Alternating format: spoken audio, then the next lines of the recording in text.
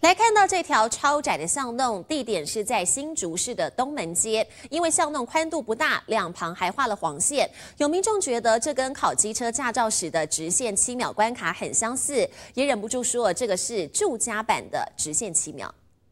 骑士骑着机车，龙头抓稳，准备穿越狭窄巷弄，要小心别撞到一旁的机车，还得克服路面颠颠簸簸，想穿越可得小心翼翼，比技术还得比平衡感。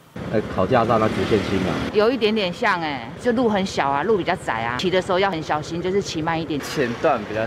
可能会让网友会比较觉得比较像。这地方就在新竹市东门街，超窄的巷弄，两旁画了黄线。有民众觉得这景象和考机车驾照时的直线七秒关卡很相似，直呼简直是住家版的直线七秒。这一幕也被民众泼上网，直呼不能临停，只能直线七秒通过。贴文一出，掀起热论。有网友说根本是考驾照专用路线，考前练习场。也有人笑说，原来路考项目真有歧视。以前来讲比较大一点，那是因为路面或者什么，所以它会变成变成比较少一点。这条街又称作新竹第一街，是新竹平原开垦起点。过去有不少市集街坊，历经多年演变，还保存具有代表性的小巷子。当地人直说很幸运，狭窄巷弄意外掀起话题。记者徐志谦新竹报道。